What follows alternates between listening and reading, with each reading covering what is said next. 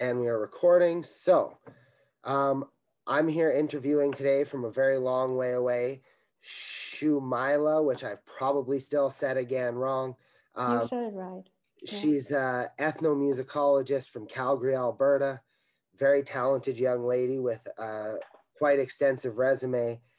She had her song Anticipating featured on Cross Canada Tour for Suicide Prevention Awareness and Hope featured in top mental health apps, including Shine's playlist on Spotify, World of Stories, um, Alberta Musical Theatre, live stream for the drop and tune uh, CJSW Radio Calgary, Once Upon a Time in Kobe, Japan commissioned by the New Music Edmonton, uh, PhD in ethnomusicology from University Alberta, a bachelor in social sciences and humanities from Lahore University, and um, yeah that's that's not a bad intro.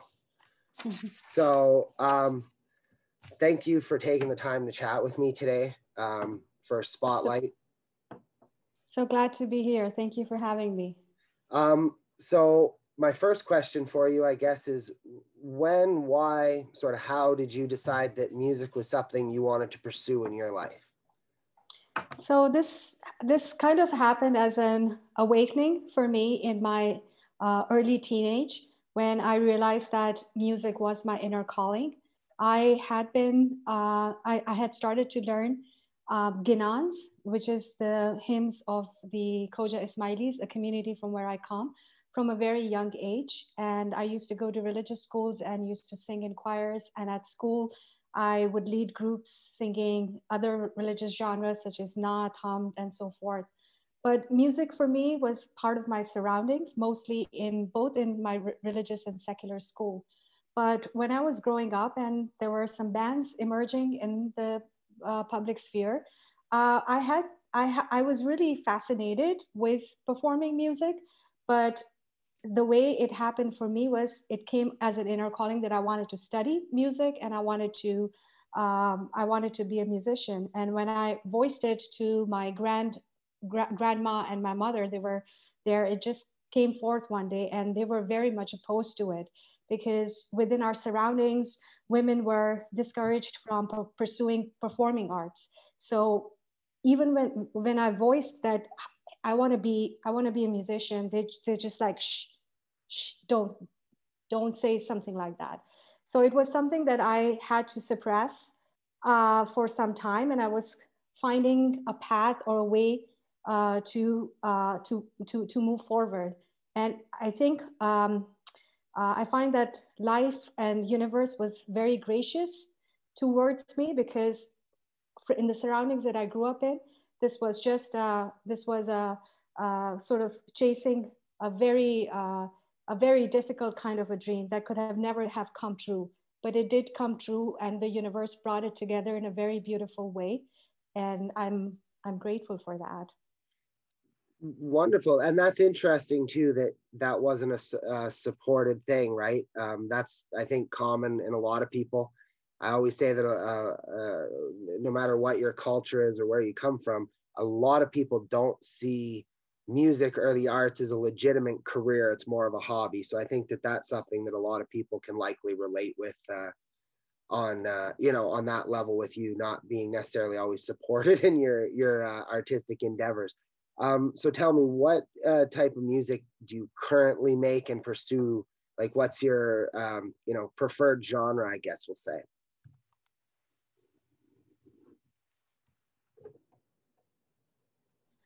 Right. Uh, so my my uh, main genre of music is uh, Sufi sounds, and I sing um, uh, uh, poetry of Sufi mystics from the Islamic mystical tradition in many different local genres. Uh, some of them are known to ethnomusicologists. Some are actually under go. I mean, I, I have done research on them, so they are still also not known to an expert audience in, uh, in studying South Asian music in the West. So some of these genres include uh, khayal, kafi, qawwali, and shahjurag. So these are the, uh, the, the, localized genres of South Asian Sufi sounds that I sing. But I've also expanded beyond that in the sense that I, am writing my own songs uh, inspired by Sufi themes.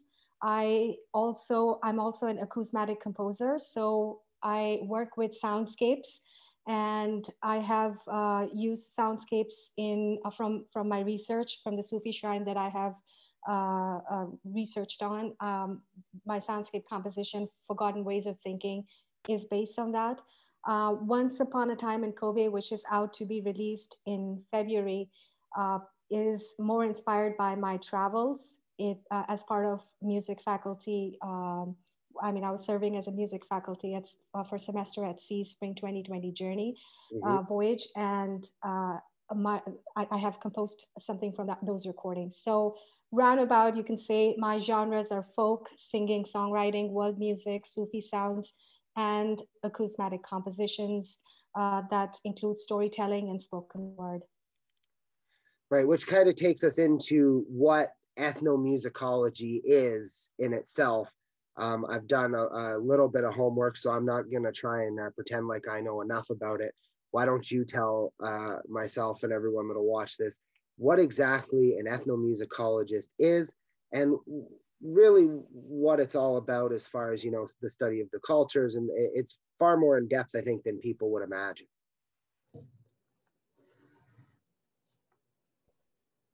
yes uh, absolutely so ethnomusicologists I mean, ethnomusicology is a field uh, that uh, is a discipline in music that, you know, some people say the word itself comes in, uh, was coined in the, uh, in the 60s or so, but it, it goes far beyond it. It simply means the study of mu musical culture in its context. So ethnomusicologists are not only concerned with the sounds of the music, but also the communities of listening, communities of production, communities of reception that are associated with those cultures of sound.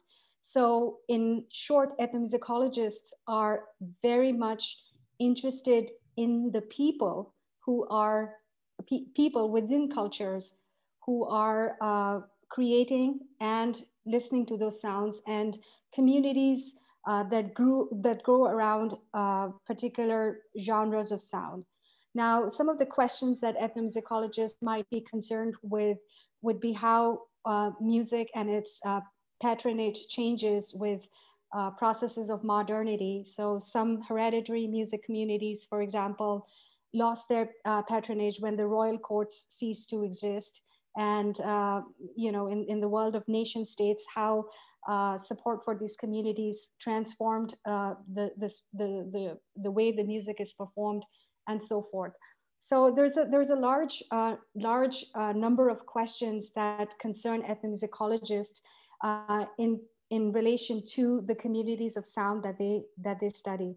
And in, if, if we were to put this in one sentence, it is uh, this really this idea that they are more interested in the people uh, than simply in analysis of sound, for example. So the community is more important than just right. uh, uh, isolated study of sound.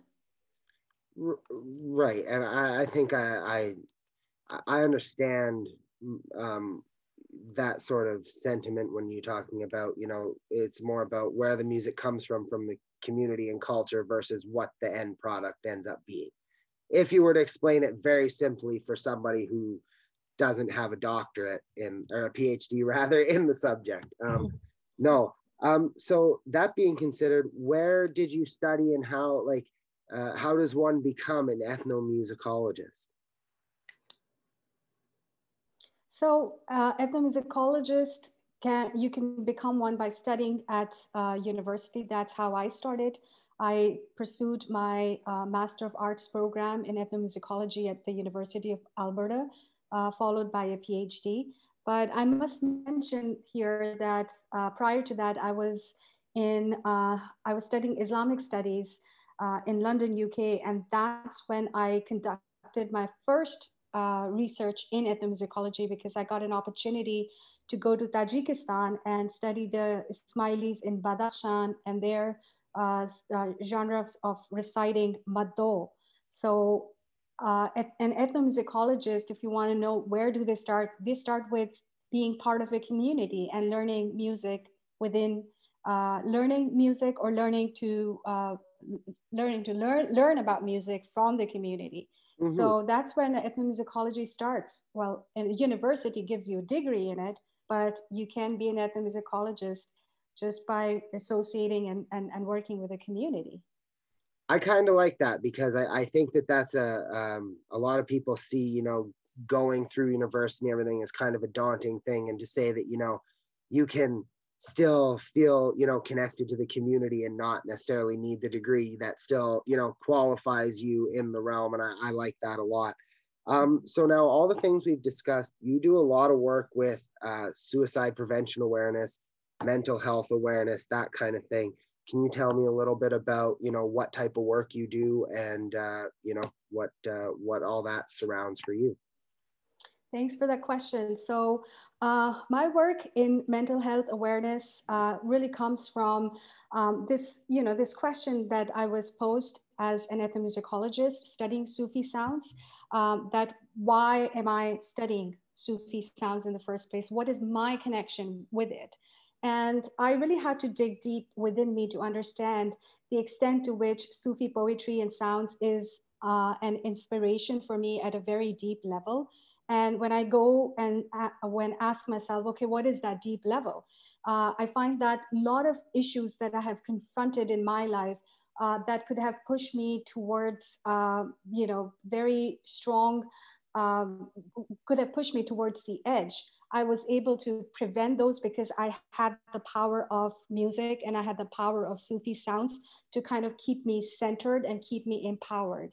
So as an uh, early teenager, that was the first time I experienced um, thoughts of suicide. And it was, I made a very superficial attempt as well. Uh, but while making that, I, I, thought, I thought to myself, I mean, why be obsessed with death and go in that direction? How, how about I put all my energy in uh, pursuing this dream that I have, something that inspires me, and music inspired me so much. And I said, oh, okay, I know that I don't have the opportunities, I don't have the formal schooling in music. Probably it's a dream that will never come true, but how about I put my energy into that dream and just go, just see where life takes me. So this is an idea that kind of stayed with me for a large part of my life. I worked with uh, I supported friends who were uh, who were uh, confronting uh, thoughts of suicide and had actually made genuine attempts to end their lives. And whenever I had conversations with, with, with, with them, uh, give, I found that I carried in me a hope that even when life is not working out, even when things are not going our own way, I just had this hope about uh, mysteries, uh, life being, life being, life having uh, a, a, way to surprise us, life having a way to uh, send us gifts and, and, and taking us and, and giving us things that we never, never thought we would have. So I believed in the sweetness of life in a way. And that is something uh, that I try to give to my friends who were struggling with uh, suicide at, at, at that point. I myself had come out of an abusive relationship that had stigmatized, that had carried a certain stigma within my community and that got me to uh, that got me to distance myself from my community as well so i mean uh, the way i've moved forward in life um, i've always been able to create new paths because sufi sounds um, and, and and the way they you know inspire you or the, the way they have inspired me or impacted me I have uh, deeply connected with my intuition and try to find a new path forward whenever my uh, existing path seemed to be closed or have too many roadblocks or I was hitting walls. So I suppose since past five years, I hit I hit a roadblock in life again, and uh, I was experiencing dark spots, and they have sort of continued. Um, and I've the the song that I wrote, anticipating, it started. I started writing that song in 2017 while I was going for a walk in Edmonton, and the melody and the words came together. And I finally recorded that that song in 2019. But they it carries this uh, this uh, feeling of uh, you know pushing the roadblocks and trying to find a way forward when you find that there are really there are too many obstacles on the way. Um, so i'm at a point where i find uh, i'm recording meditations uh, to uh, to help people with uh, uh, mental health uh, and and you know we all are having mental health issues. We all are suffering from some form of depression some of form of loneliness at this point in of juncture. And I find that uh, the work that I'm doing with suicide prevention awareness is very uh, is is is is going to is is will will will provide support to many people out there. I think we need to work through our feelings and through our um, you know sadness with life or despair with life or despair with the economy um, in together uh, because really we are in this together.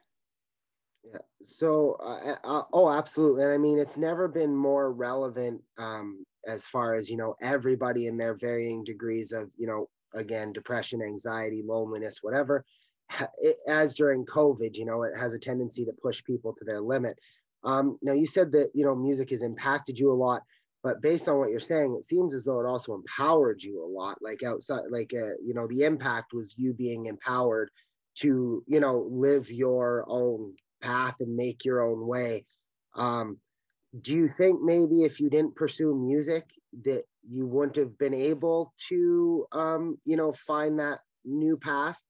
Like, do you find do you find that music is empowering for you and that get, to give you that strength or sort of a, for lack of a better term, a light at the end of the tunnel to pursue? Is that would that be fair to say?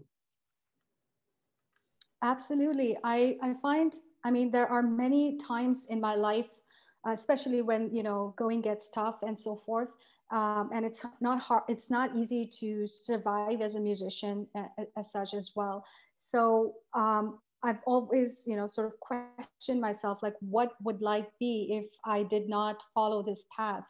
And every time that I go in feelings of self doubt, uh, I find that there is universe just speaks to me in some way. I really say it with a lot of conviction when I say that. I don't say it with my academics uh, hat. I say it with my heart when I say that that music is my inner calling because uh, there were there were things I was thinking about I would want to do. Like I mean, there was a period in my life when I was painting and I painted the cover of my first album. It's still not out. It's going to be out in March and it's a com completely different cover from what I painted, you know, uh, eons ago. But uh, that I the think that music was and has always been my path, even at the level of imagination or in terms of you know the 3D, the physical reality. Um, I don't think I could have been who I am otherwise uh, it it is because it's my, you know it's it's my lifeblood it's my path it's it's been my inner calling. So i do it with uh, a deep conviction. I think that that's pretty much the only way that you can do this. And i mean as somebody who came into the music industry a few years ago um, there's a bit of um, imposter syndrome that you feel sometimes with something that's not legitimized by society and so you have to find a way to empower yourself or encircle your people, uh, yourself with people that help empower you to chase down those things. Because, you know, again, not everybody thinks it's such a great life choice. And, and I know that a lot of people in the arts and music and whatever suffer from that. I call it imposter syndrome. I don't know if it's a real thing or not, might be, but I know a lot of people feel it. Um, so, all those things being said, you have a mm-hmm. very mm-hmm. impressive bio and accolades. What do you consider to be your greatest achievement um, through music? You know, um, academics is one thing, but what do you think your greatest musical achievement is? That's a great question. Uh, I find that there is not a single uh, achievement that I can point towards. Uh, I find that there is there have been a series of let's say awakenings for me in music, starting with uh, my performance at the Pakistan American Cultural Center, where I performed with my ustad in 2014. And then in 2015, I performed with a, a group of musicians as part of World Music Residency at the Banff Arts Center. Uh, that was uh, that was for me one of those breakthrough performances. And then that got followed by a lot of amazing uh, gifts that I received. I think last year was quite amazing because I uh, uh, I led a zikr at uh, I, I, led a zikr on the World Odyssey uh, while I was teaching as part of uh, teaching as a music faculty. And after that, the song "Anticipating" that was recorded and released in late 2019 was featured on the Cross Canada tour for suicide prevention awareness and hope. And that's when I found my music has started to create the impact that I always thought that you know is, is my vision is my purpose um, and uh, with uh, with with with with these upcoming releases such as Manat, um, I find that um, uh, it's it's leading towards uh, realizing my purpose through music. Yeah. That I, I like that because staying eh, it's hard to talk about yourself, but I, I think it's important to for a person to acknowledge their um, achievements and successes um, as much as it is to acknowledge and move from you know failures and mistakes. So I think that that's uh, uh, thank you for com- uh, you know having something that you're you're proud of and uh, you know take a just a moment to let go of the the humility and just you know praise yourself for a moment. I like that. Um, upcoming projects. I know I, I normally talk about tours and shows. Obviously, right now with COVID, there's not a lot of that happening. Um, tell us about your single and where we'll be able to find it, or your release and where we'll be able to find it. Right. So my single Bedari, uh, which means awakening, it's coming out on, on Friday and it will be available on all digital platforms. The language of this particular song is Urdu, uh, but I will, I will post uh, lyrics in English. And that's one of the recent releases that are coming out, followed by Once Upon a Time in Kobe, Japan, and that would be part of New Music Edmonton's podcast. Um, and uh, that would be available also online on New Music Edmonton's website. And after that, uh, finally, I will be releasing my album, uh, Manat, uh, which is supported by Edmonton Arts Council's Cultural Diversity Award. And that would be available from my, you can pre-order it from my website as well as, you know, it would be available on all digital platforms uh, and it's coming out uh, on March 19th. So these are some releases that I have planned. Excellent. Um, so anybody you'd like to thank, you know, a shout out to some friends or people that have supported you along the way, or on the uh, on the the the um, maybe somebody that you you know would like to dedicate some you know all the work you've done, anything you'd like um, to thank anybody. You have your your moment to say thank you. Great. So I have a lot of people to thank. I would like to thank the Edmonton community for their support. Um, I, amongst organizations, I would like to thank Alberta Musical Theatre. I would like to thank Canada's Music in Incubator, um, CJSW, and New York, New Work Calgary Femme Wave Festival, New Music Edmonton, and most, uh, most of all my professors at the University of Alberta Dr. Regula Qureshi and Dr. Michael Fishko, uh, Frishkopf and Dr. Uh, Maryam Moshaver. They've always been very, very supportive to, in my journey. I would like to thank my brother and my mom, and they have been super great uh, uh, and have been very supportive.